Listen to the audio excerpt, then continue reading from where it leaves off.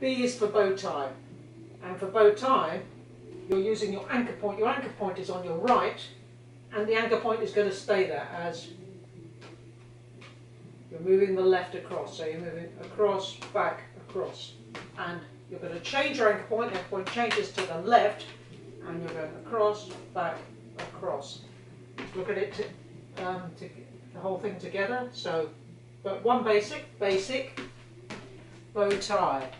Anchor point right, out and out, change out and out again, out and out, out and out. Back to basic.